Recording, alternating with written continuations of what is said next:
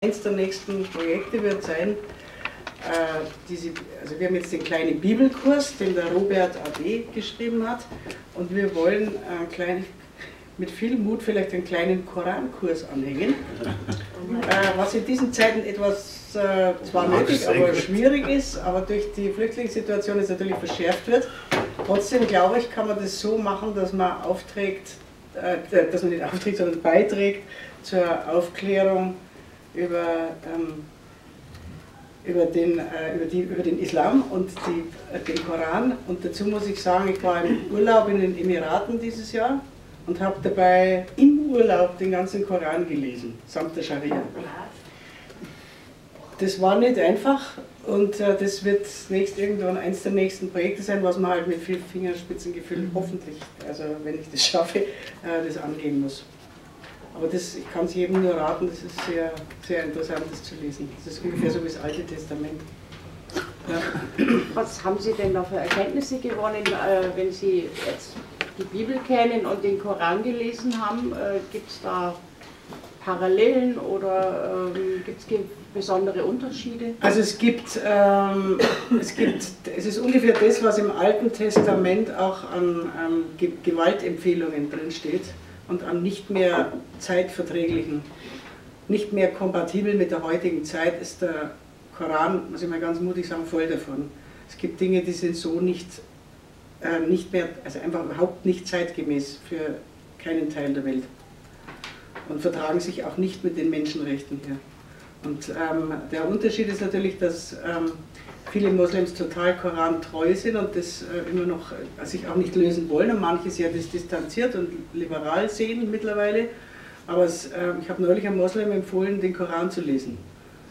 Ich habe gesagt, lesen einmal und schau, was alles drinsteht, auch was bei der Scharia drinsteht. Es lohnt sich wirklich, sich damit zu befassen. Wir müssen uns befassen, alle, weil die Zeiten so sind, dass man es nicht äh, beiseite schieben kann würde auch jedem Journalisten raten. Also es ist mühsam, weil man manchmal ein bisschen einschlaft dabei, aber man wacht immer dann wieder auf, wenn es empfohlen wird, den Ungläubigen den Kopf abzuschlagen.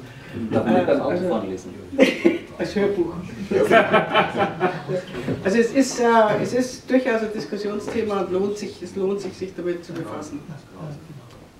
Ähm, ja, wir haben natürlich die ganze, also der Freund von mir, der Robert A.D., hat die ganze Bibel wirklich durchgefilzt und hat sie nach äh, nach völlig unsinnigen, zum Beispiel steht drin, du sollst kein Aas essen, du sollst es einem Ausländer verkaufen.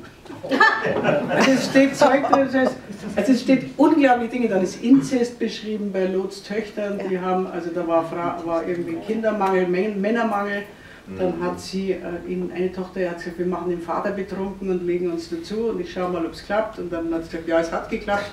Und dann ist die die hat gesagt, du kannst, jetzt kannst du zu ihm gehen und beide wurden schwanger und bekamen Kinder und die Söhne hießen so und so und so und so. Und ähm, dann heißt es ja immer, die Bibel ist in allen Teilen heilig und wahr, sagt der Papst, und ich vermute, er hat sie nicht gelesen.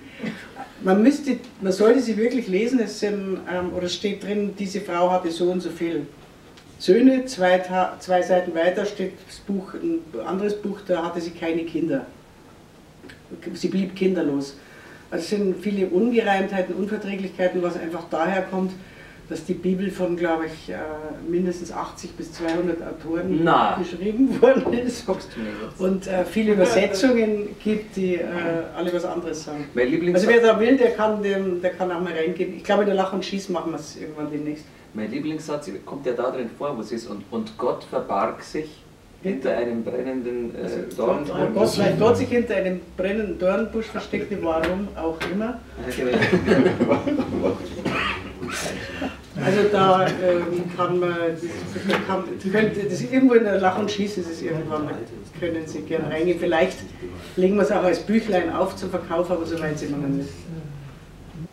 Wir sind Monaco Deluxe und du kannst uns abonnieren. Schön, dass du eines unserer Videos angeschaut hast, hier auf YouTube. Wenn du uns noch nicht kennst, Monaco Deluxe ist der Kanal auf YouTube, der dir München zeigt. Am roten Teppich, mit den Stars, auf den Special Events, neue Öffnungen oder den Blick hinter den Kulissen. Verpasse keine weitere Folge von deiner Lieblingsstadt.